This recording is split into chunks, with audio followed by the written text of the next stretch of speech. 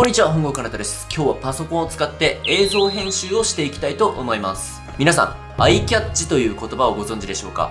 動画の場面展開の際なんかに挟む、こういう短い映像のことです。僕の動画をよく見てくださってる方はご存知かと思うんですが、いくつか種類がありまして、今日はまた新しくアイキャッチを作っていきたいと思います。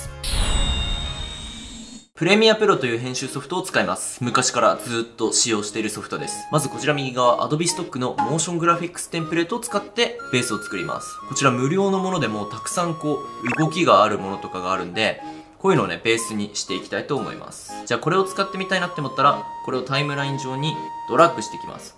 そうすると、もうほら、動きのあるベースのものがありますね。そしてこれをダブルクリックして、いろんなパラメータをね、いじっていきます。この元々書いてある文字を、例えばこれをさ、本郷かなたの日常にするだけで、こう変わるのよ。ほら、変わりましたね。で、この辺のパラメータいじると、大きさだったり、位置だったりをね、変えることができます。じゃあ真ん中あたりに一旦してみましょう。このままだとなんかちょっと味気がないので、フォントを変えてあげましょう。こちらのテキストのテキストプロパティフォントっていうところですね。こんなフォントなんてどうでしょうか？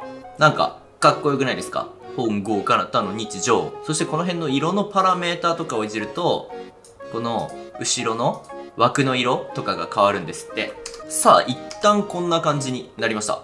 おー、勝手に動いてくれる。僕何もしてない。文字いじっただけ。このさ、やっぱテンプレートっていうのがめちゃめちゃいいんですよね。素人でも簡単にそれっぽく作れてしまうのがいい点だと思います。しかしこれ今、10秒の尺があるんですよ。僕が作るアイキャッチは全部実は2秒に統一していて、なんかね、この2秒っていうのがすごく気持ちいい魔弱だと思うんですよ。じゃまず一回大胆に、これを早送り的な感じでまとめます。えっと、ショートカットキー R を押すと、これは、レート調整ツールですか？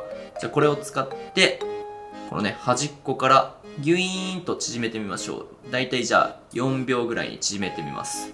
そうすると、お、スピーディーになりましたね。そして、これ僕ね、後半いらないと思ってるんですよ。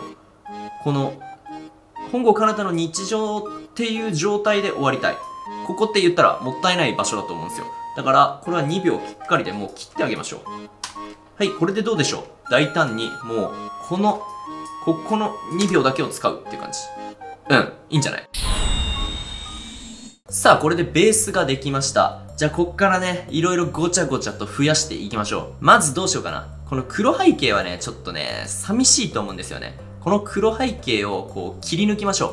キーイング、ウルトラキーと選んで、ここにドラッグドロップします。そうするとここにウルトラキーの項目が追加されました。で、キーカラーのここね、抜きたい色を選択してくださいっていう場所を選んで、ここを押すと、下にはちょっと映像素材を入れたいっすよね。こちらも Adobe Stock さんからなんか海の素材を引っ張っていきたいな。さあこちら様々な素材を取り扱っている Adobe Stock の画面にやってきました。海で検索すると、うわ、めっちゃいいじゃん。うわ、来た亀亀が欲しかったんですよ。僕は今亀の動画が欲しかったんです。なぜならこれさ、この後ろのこの三角形が亀の模様にしか見えなかったんだよね、僕は。この亀ちゃんをダウンロードしちゃおうかな。いや、もうちょっと亀で粘るか。亀。亀。うわ、陸パターンもあんのね。もう、てかすごくない？この亀って検索しただけでなんでこんないっぱいあんの？何？こっちの亀も捨てがたいなおいおい嘘だろ。一番下までスクロールしたら亀100分の1ページ。おいおいマジか。亀だけで100ページもあるっていうのか。何？迷うけどこれにしようかな。これが一番なんか穏やかな気がする。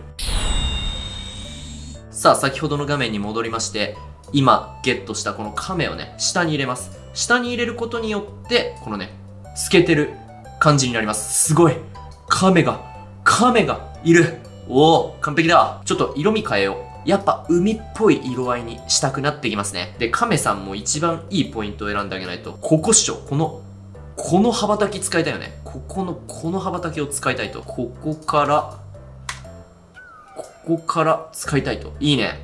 これを重ねるんですよ。そうすると、ほら。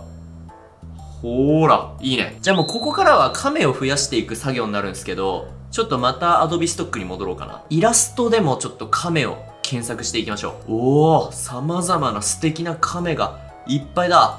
おー、これは何ページあるんだい？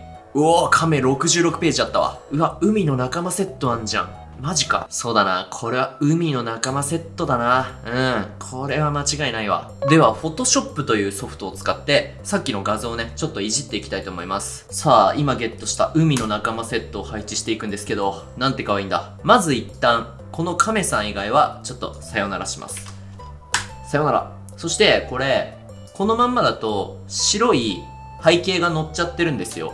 なので、この背景を、こんな感じで消してあげましょう。そうすると、なんと、亀さんだけになりましたね。いいっすね。えー、そしたら、この亀さんを何色かにしたいっすよね。あー、赤、赤亀にしようかな。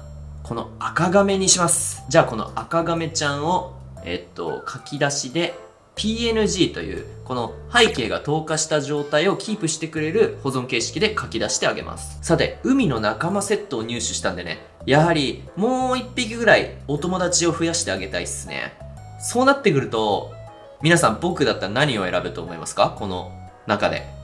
ん？うんうんうんうん。そう。そう。正解です。さすがよくお分かりですね。タツノオトシゴちゃんですね。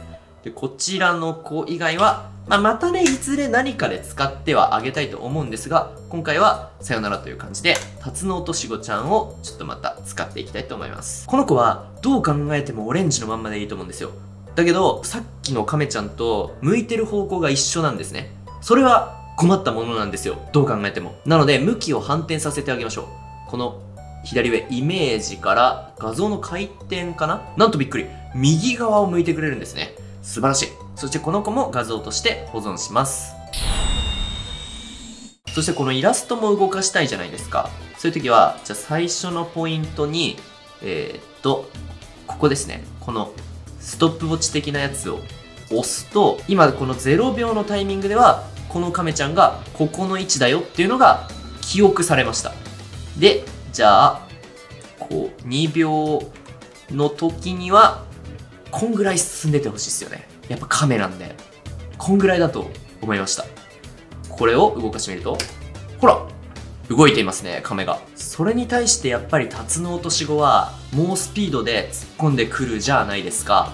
このね、ギューンと来て、一瞬やばいってなって、こういう神回避をさせてあげたいですよね。ほら、急に突っ込んできて神回避をするって、このタツノオトシゴと赤亀のストーリーができました。そしてこの亀が何も気にしてないのがいいよね。この赤い亀が。自分のスピードでずっと走ってるっていうのがすごい素敵ですね。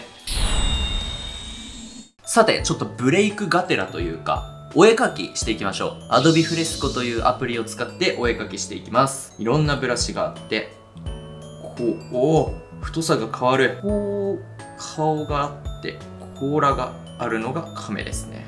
こういうタブレットはこう直感的にね、描いたりできるのがいいですよね。ここは黄色ですね。黄色い亀です、この子は。そうなるとここはオレンジだ。最後はニッこりさせてあげましょう。おおいい亀ができましたね。イエーイ、できました。このキガメちゃんはですね、ちょっとその、霊的な存在ということにします。こう、化けっぽいことにするんで、ちょっと薄くしてあげました。このね、不透明度っていうところで、透明度が変わるんですね。これを見ていきましょう。ほら、いいですね。こう、いなくなったと思ったら、タツノオトシゴが突進してくる。これがまさにやりたかったことですね。このタツノオトシゴが緊急回避するときに、ひらめく音みたいのがちょっと欲しくなりました。ちょっと自分で録音します。うちにあったこの不思議な楽器、フレクサトーンを使って、音を、こういう感じのを取っていきたいと思います。マイクを持ってきて、このプレミア上で録音していきたいと思います。さあ、今撮ったのが、ほら、波の形になって、これわかりますか？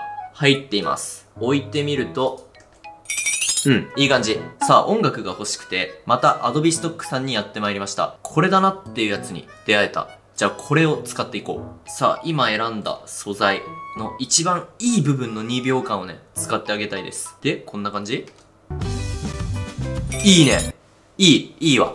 もう完璧としか言いようがないわ。そして、この音楽も一番最後、フェードアウト、徐々にしぼんでいくみたいな効果をかけます。わかるかなこれ。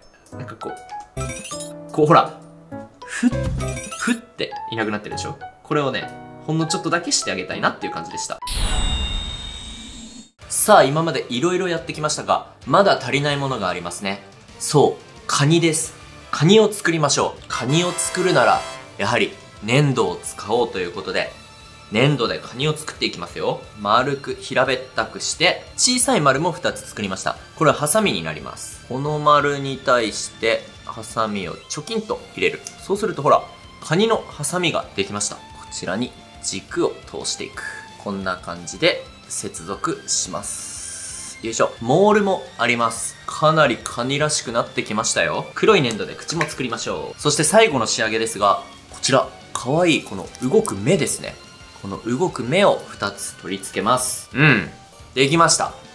カニができました。これをどう動画に登場させるかっていうことなんですけど、皆さんも聞いたことあるんじゃないですかね。この、グリーンバックを使って撮影をしていきたいと思います。こう、振ってあげたいよね、小刻みに。こう、小刻みに振ってあげたい。さっきと同じウルトラキーを引っ張ってきてあげますが、今度このキーカラー、抜きたい色っていうのをこの緑に設定してあげるんですね。そうするとほら、大体一括で選択されました。よし、カニの動きもできました。カニはこの物陰から出てきて、ちょっと楽しもうと思うんだけど、急にタツノオトシゴが来るからやべって、この子も緊急回避するみたいな、そういうストーリーになりました。これで作業は終わりですね。じゃあ、イン点、アウト点といって、ここからここまでっていう部分を決めたら、このムービーを書き出したいと思います。それでは改めて見ていきましょう。うん。もう一回見ましょう。うん。いいですね。いいよ。さあ、ということで今日はアイキャッチ作りをしてきました。今日はいろいろなソフトを使ってこのアイキャッチを作ったじゃないですか。僕は特別パソコンに詳しいわけじゃないですけど、今は本当にそのソフトウェアの技術の進歩のおかげで、まあ、いろんなことができるよっていうのは、なんとなく伝えられたのかなと思っています。興味を持った方、ぜひ映像編集とかチャレンジしてみてください。それでは今日もご視聴くださりありがとうございました。また見てくれると嬉しいです。バイバイ